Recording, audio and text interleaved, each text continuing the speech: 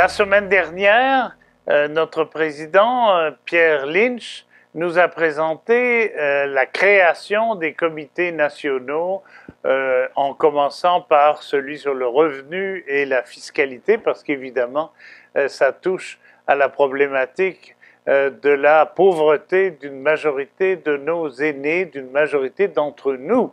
Bon. Alors, nous allons commencer avec l'émission d'aujourd'hui une tournée de l'action des comités pour voir comment ils ont été formés, quels étaient leurs mandats, leurs objectifs, comment ils ont travaillé, les résultats qu'ils ont obtenus, les difficultés qu'ils ont rencontrées et puis les étapes qu'ils vont franchir euh, après la première qu'ils vont nous présenter aujourd'hui.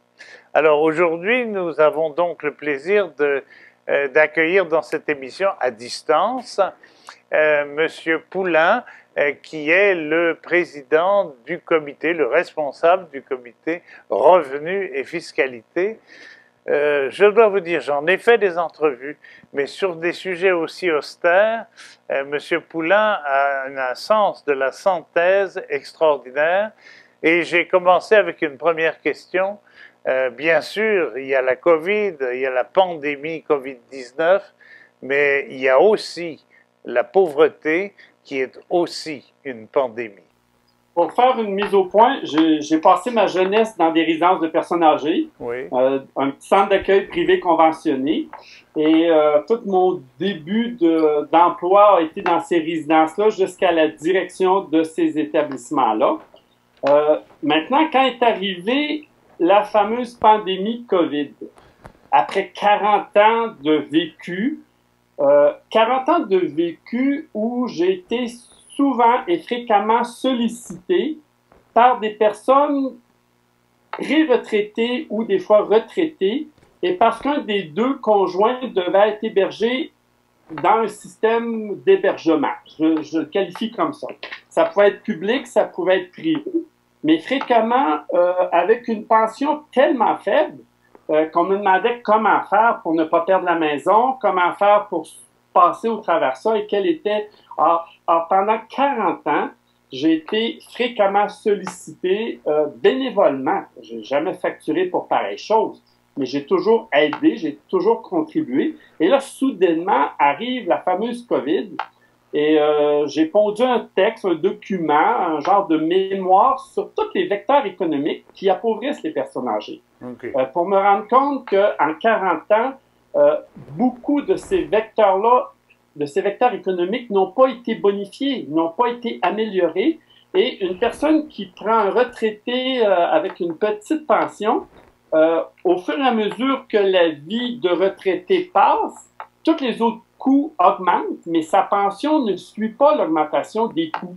Que ce soit ceux d'Hydro-Québec, que ce soit la fiscalité municipale au Québec, elle est tortueuse et elle génère une gentrification des personnes âgées. Fréquemment, une personne âgée, parce que son, son immeuble, sa résidence devient trop dispendieuse, doit la vendre, doit la liquider, euh, parce que c'est trop cher le coût de la taxe à 3 000, 4 000 par année. Et euh, quand fréquemment, la 45% des retraités nécessite le supplément de revenu garanti. Ah. Ce qui veut dire que pour un couple qui demeure dans sa petite résidence qui s'est payé une vie entière, euh, il se retrouve uniquement présentement avec un revenu de l'ordre de 26 000 annuellement. Alors, quand vous avez une taxe municipale de 2 000, 3 000 à assumer, ben, vous pensez euh, liquider votre immeuble. Alors, des vecteurs économiques qui appauvrissent les personnes âgées, j'en ai énuméré plusieurs.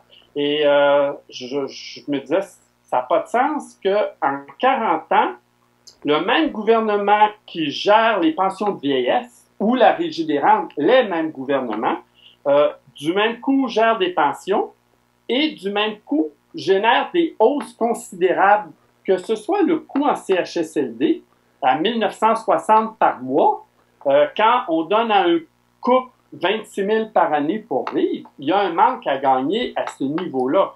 Euh, et, on peut passer chacun des vecteurs économiques comme ça.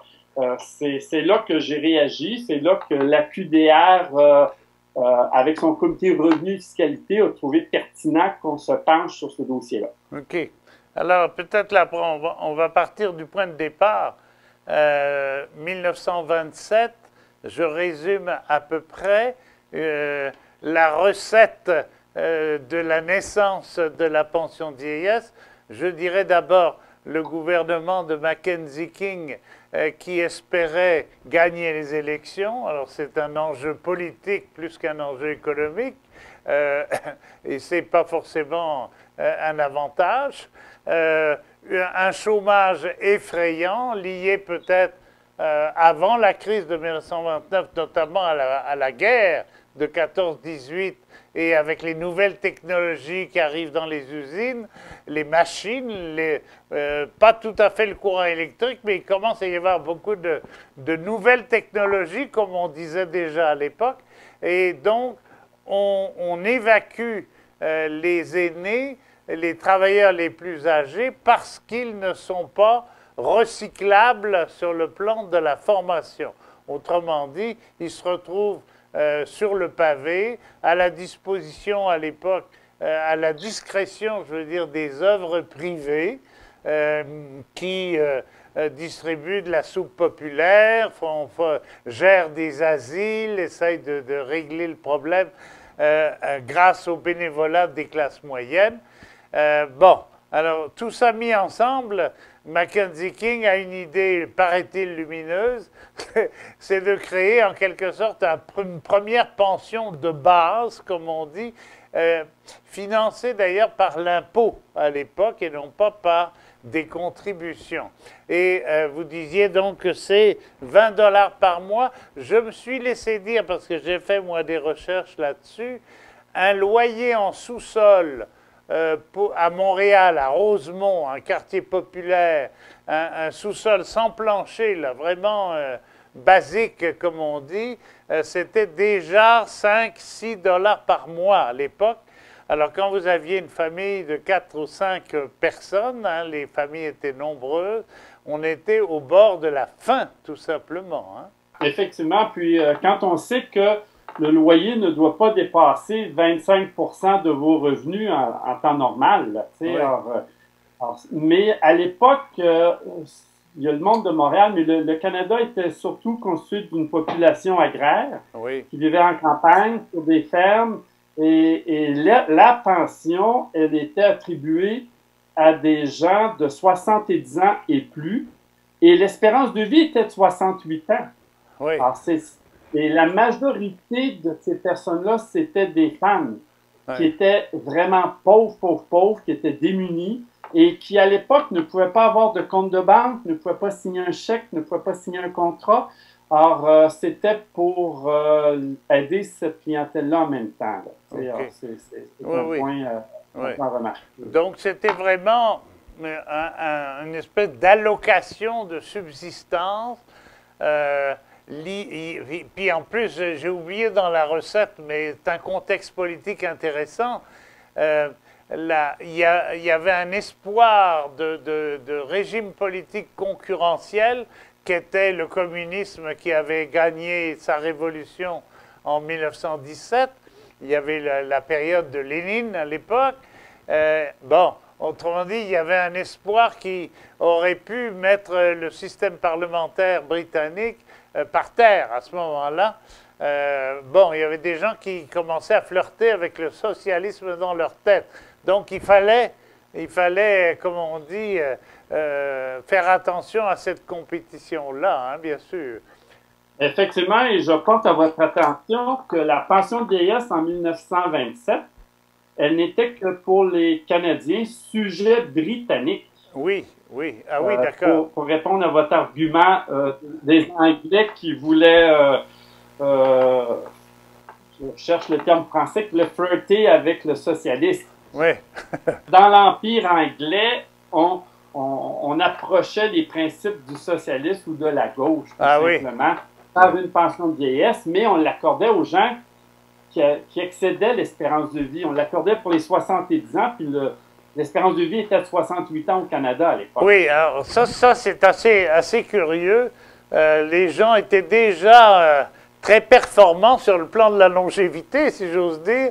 C'était donc une allocation, un peu une aide sociale finalement, euh, pour des gens qui avaient dépassé la moyenne de la longévité ordinaire, ce qui, qui n'était sans doute pas le cas des plus pauvres d'ailleurs. Et, fréquemment dans les textes, on n'utilise pas le mot pension vieillesse, on, on utilise euh, subvention démographique, on utilise des qualificatifs comme ça. En même temps, on, euh, je ne sais pas si je ne suis pas historien, là, euh, faudrait relire tous les textes et tout, mais on dirait qu'on ne voulait pas s'engager avec une forte dépense en mettant une pension de vieillesse pour tout le monde. Oui. C'était une subvention démocratique qu'on voyait dans bien des, des documents. C'est ça. Alors, cette, euh, cette pension de base euh, a été la, la, seule, finalement, qui existait à part l'aide de la charité privée jusqu'après la guerre, la Deuxième Guerre mondiale, il me semble, avec la, la création euh, là aussi d'un paradoxe, euh, que le supplément de revenus garanti. Alors, si j'ai bien compris euh, votre raisonnement jusqu'à maintenant, c'était pas garanti à tout le monde. Hein? C'était pas. par la suite, après 1927, on se retrouve dans les années 40, oui. où là, c'est véritablement plus une pension de vieillesse, mais c'est une subvention démographique de 40 dollars qu'on accorde à ce moment-là. Et soudainement arrivent d'autres pensions, euh, la Régie des rentes du Québec. Euh, euh, et il faut se remettre dans le contexte que les hommes meurent avant les femmes. Oui. Alors, celles qui demeurent vivantes, ce sont les femmes, et l'homme étant décédé, le, le, pourvoyeur, il n'y a plus d'entrée de fonds qui se fait dans les maisons. Alors, euh, le gouvernement crée le supplément de revenus garanti, qui était une subvention de subsistance pour se rendre à 65 ans, à la vieillesse. C'est ça. Pour se rendre à la régie des rentes. Ça devait être une subvention que de court terme. Oui.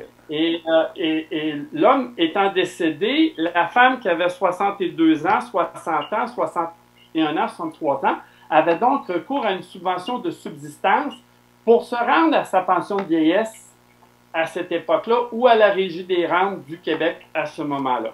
Alors, c'est là le but du supplément de revenus garanti. Sauf, sauf qu'on constate avec le temps, cette subvention-là devait être pour du court terme, mais elle, a, elle perdure tout le temps. La pension de vieillesse, si elle avait augmenté, si elle avait cru de façon adéquate et selon toutes les dépenses qu'on a dans une société, euh, l'objectif aurait été qu'on n'ait pas besoin d'une subvention de subsistance. Uh -huh. Et la même chose avec la, la Régie des rentes du Québec. Euh, uh -huh. Alors, aujourd'hui, on se retrouve avec une population qui nécessite à sa retraite le, la subvention de subsistance, qui est le supplément de revenu garanti, et on retrouve 45% des retraités qui nécessitent la subvention de subsistance. Ouais.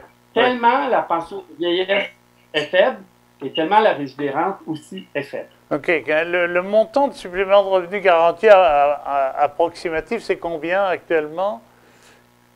On parle, on parle en 2020, pour une personne vivant seule, on oui. parle de 18 000 18, 18 060 Et pour un couple, on parle de 26 000 OK. 26 000 là, c'est 13 000 par personne. Oui. C'est de la pauvreté lamentable. OK.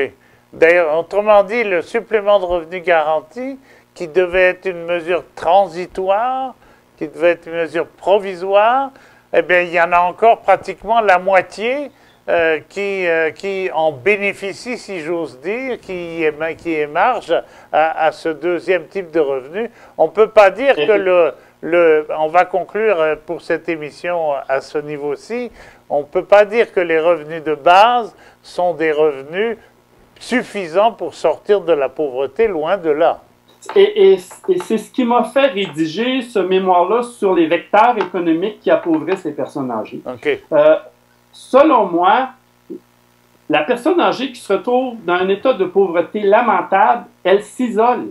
Uh -huh, ben oui. Elle reste enfermée chez elle, ne peut, difficilement sortir, peut difficilement avoir des activités et de ce fait se retrouve confinée, pas à cause de la COVID, mais confinée économiquement une vie entière avec une espérance de vie de 83 ans. et pendant toutes ces années-là se retrouvent être, être, prises dans un étau économique sans pouvoir avoir d'activité, sans pouvoir être membre du jardin botanique, sans pouvoir être membre de quoi que ce soit, avoir des difficultés même à sortir tellement quand vous avez 13 000 euh, par conjoint, c'est pas, euh, c'est pas, c'est pas, pas une fortune là. Non, non, c'est une, une, pauvreté lamentable. Euh, et économiquement, lorsqu'on regarde les études des actuaires, lorsqu'on regarde la défense des droits des employés de l'État ou des grosses entreprises, euh, la tendance est que pour avoir une qualité de vie à la retraite, il vous faut obtenir une pension équivalente à 70% de vos dernières années de revenus pour que votre pension soit en adéquation avec votre niveau de vie. Uh-huh. Et fréquemment, on constate chez tout le peuple qu'il n'y a pas une pension de l'État public, là, un employé du public. Les autres se retrouvent dans 45% avec uniquement 18 000 pour vivre s'ils sont une personne vivant seule ou 13 000 par conjoint s'ils sont en couple. Bon. Alors, je vais vous remercier pour la, cette émission. On va évidemment la prolonger parce que c'est une longue histoire. Euh, on retiendra simplement les mots de pauvreté, gêne, misère, désocialisation. D'ailleurs, vous dites dans votre, euh, dans votre rapport mort sociale. Hein, les, les, gens sont encore vivants euh, sur leurs pattes de derrière, mais ils sont socialement morts parce qu'ils n'ont pas les moyens de vivre en société d'une façon inclusive et digne. Merci beaucoup, M. Poulain, et à une prochaine fois. Le QDR aimerait vous rappeler que si vous avez aimé ça, cliquez là. Si vous voulez le faire voir à vos amis, cliquez là.